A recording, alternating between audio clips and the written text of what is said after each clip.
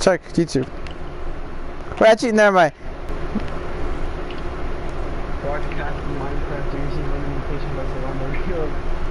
Wait, there's something. Wait, it's not on the jump site account though. Uh, this is my personal one.